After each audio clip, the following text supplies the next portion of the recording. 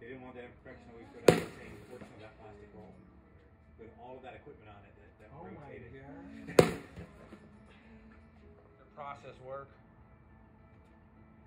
So in the basement underneath, but there were all these tons of slip ring. All right, you good with that? Yeah.